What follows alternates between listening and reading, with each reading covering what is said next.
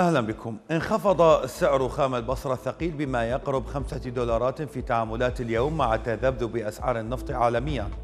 وتراجع خام البصرة الثقيل المصدر لآسيا أربعة دولارات وواحد وسبعين سنت وبنسبة تغير بلغت 4.63% ليصل إلى 97 دولارا وخمسة سنتات للبرميل الواحد.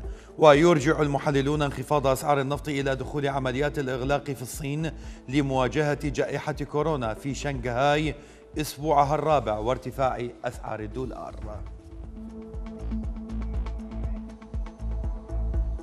قالت وزارة التخطيط الحالية أن معدلات التضخم الشهري في العراق خلال شهر آذار الماضي قد ارتفعت بنسبة 0.8% مقارنة مع شهر شباط.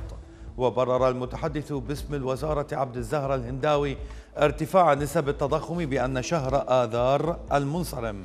جاء متأثرا بارتفاع أسعار عدد من الأقسام من بينها قسم الأغذية الذي ارتفعت أسعاره بنسبة واحد وستة بالستة عشر الدرجة بالمئة نتيجة ارتفاع أسعار مجموعة الزيوت والدهون بنسبة خمسة فاصلة سبعة بالمئة والخضروات بنسبة ثلاثة فاصلة سبعة بالمئة. أما الأسماك بنسبة خمسة بالمئة والفواكه بنسبة ثلاثة فاصلة سبعة بالمئة واللحوم بنسبة واحد فاصلة تسعة بالمئة. قال عضو غرفة تجارة بغداد عدنان السلامي أن الحديث عن دعم الطبقات المتضررة من ارتفاع الأسعار مجرد وعود بلا نتائج. وأضاف أن الحكومة الحالية إذا أرادت استغلال الفائض المالي الكبير لمصلحة الشعب فعليها أن توزع دفعات من المواد الغذائية على المواطنين وأن تتابع الأسواق وتمنع التحكم بها من قبل التجار. وحمل عضو غرفة تجارة بغداد الحكومة مسؤولية انفلات الأسعار في الأسواق وعدم قدرتها على السيطرة عليها فضلا عن عدم اتباعها سياسات للتحكم بالاستيراد والإنتاج المحلي. توقع صندوق النقد الدولي استمرار ارتفاع الأسعار والمعدلات التضخم في ليبيا خلال عام 2022 وفي تقرير عن الصندوق توقع أن تصل معدلات التضخم في ليبيا إلى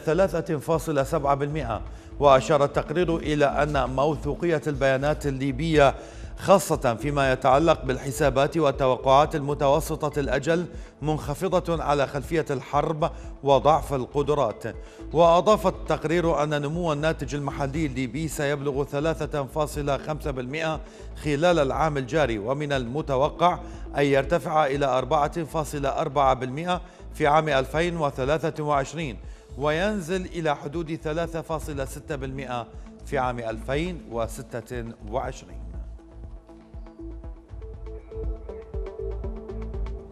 افتتحت أسعار النفط على ارتفاع في جلسات التداول اليوم بعد انخفاضها بحدة في الجلسة السابقة. وبلغت العقود الآجلة لخام برنت 103 دولارات و51 سنت بارتفاع دولار و23 سنتا. وصعدت عقود غرب تكساس الوسيطة الأمريكية إلى 99 دولارا و43 سنتا بارتفاع 89 سنتا.